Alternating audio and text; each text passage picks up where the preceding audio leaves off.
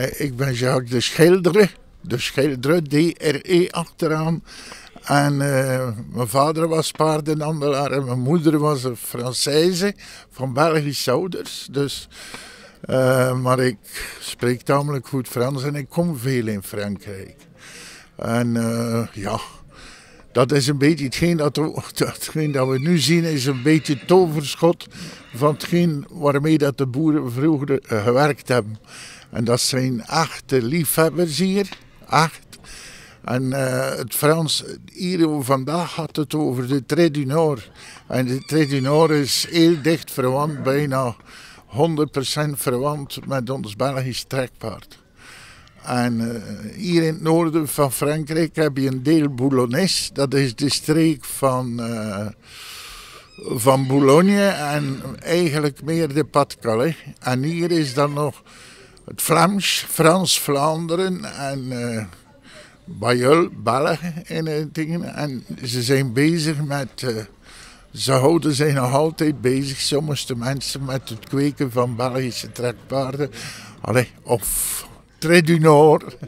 En zo, ja, blijft dat uh, een beetje bestaan. Maar ik vrees het ergste, omdat de mensen die hier nog komen dat zijn allemaal mensen van, ja, laten we zeggen, van 45 naar 70 jaar oud. En ik denk dat het achter hen uh, naar beneden zal gaan. Er wordt minder gekweekt. Er is. En de liefhebbers, dat zijn nog de mensen die vroeger nog met een paard in het veld gewerkt hebben. En onze stil is aan het gaan. Ja. Bijvoorbeeld de veulens nu uh, uit Frankrijk die vertrekken als ze zwaar genoeg zijn allemaal naar Japan.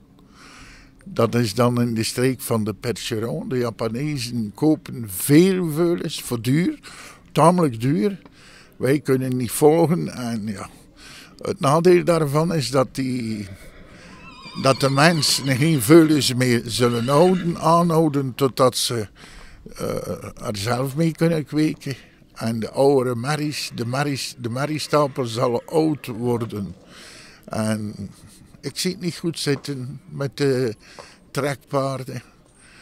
Er is weinig liefhebberij over en de jeugd, ja, het zijn allemaal grote boeren vandaag.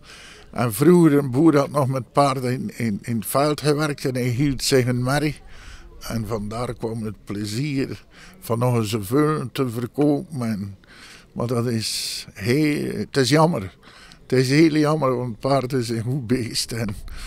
Ja. Ik heb er naar overal gestuurd, naar Hongarije, naar Roemenië, Zwitserland, overal. Finland. Ik heb er overal verkocht, maar uh, dat mindert ook. Je moet uh, het eigenlijk, like of het is, het mindert. Het getal paarden dat je kunt verkopen naar het buitenland mindert enkel de percheron, dat moet je toegeven, dat is iets dat eigen is aan de percheron. Waarom dat zo is? Uh, er zit een deel waarheid in, omdat de percherons, de Belgen zijn een tijd niet zuiver geweest in de benen. Na de laatste wereldoorlog waren het mensen van Bruggen allemaal. En ze moesten nog rove poten hebben en dat is een drama. Dat is een drama geweest voor Belgisch trekpaard. En ja, en er is geen werk meer voor hen. Uh, het, het, is aan het voorbij gaan. En hier is dan nog een overschot van echte liefhebbers die verder kweken aan paarden willen. Ja. En gelukkig dat ze er hier nog een beetje kweken. Maar uh, nu spreken de, Japanezen ze gaan een, uh, rondrit hier voor de vullens. In België krijg je voor een vullen geslacht 3 euro. En dan mag je al in je handen klappen. En uh, dat is goed betaald. De Jappen betalen 3 euro de levende kilo. Dat is 35% meer. Natuurlijk, er komen een paar zaken bij. Zoals uh, pyroplasmose moeten ze een onderzoek doen. Of ze mogen niet weg. En zo meer, ja. Verleden jaar heeft iemand in België, uh, een grote. Uh, Luc Lierman geprobeerd uit te voeren naar uh, Japan. Maar ik denk dat ze zaak niet goed. Er zijn veel doden al. Voor te zeggen, kan ik er zeggen een spreekwoord in Frans. Marchand poulain, marchand chagrin. Dat is het, dat is waar. En in, het Italiaans is uh, mercanto di, di puledri, mercanto di poverelli. Handelaar in veulens. Maar een veulen, zit dan nog meteen en dan krijgt hij de hoest als het op prijs gaat. Dan dit of dat of daar slaat hij. Dat is in feite ja, een kleine stil die veulens doen. En voor weinig geld eronder eten. En dat is ook voorbij als je de kosten ziet dat de mensen nu hebben. Je moet maar in bij zien. Maar paarden rondrijden op een vrachtwagen. Wat moet je de winst halen? En het vlees is altijd te duur.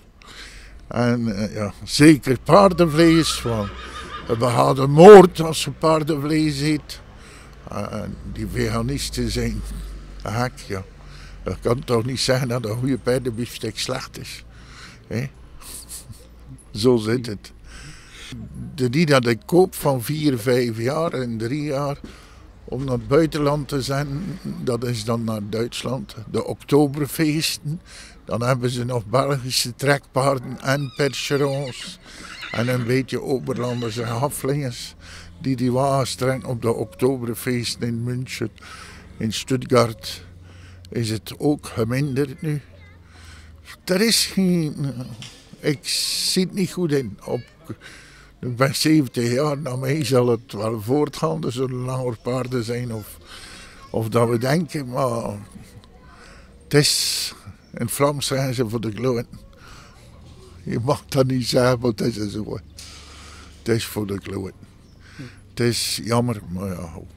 En uh, Iedereen, ja. En echte goede juryleden zijn er ook nog weinig op een prijskamp die het kennen.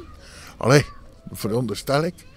En uh, ja, zo is dat. En het noorden van Frankrijk koopt af en toe nog een goed hengstenveur om hengst te maken in België of zo. Ja, maar ja, cheval a fini. En ja, maar doordat ik veel in Frankrijk ben, he, ik heb veel Franse klanten, ja. En kom graag in Frankrijk. Ja, het is mijn roots een beetje. Nieuwkerken, waar ik geboren ben, is vlak aan de grens. Mijn moeder was een boerendochter van Bayeul. mijn vader was een boerenzoon en was ook verzot op paarden. Maar je komt nooit rijk hoor met paarden, of anders moet je in die topsport zitten. En wij mensen zijn als Jan Tops en uh, Ludo Philippaerts is ook een grote handelaar. Maar in de boerenpaarden, ja. Ja, dat is zo.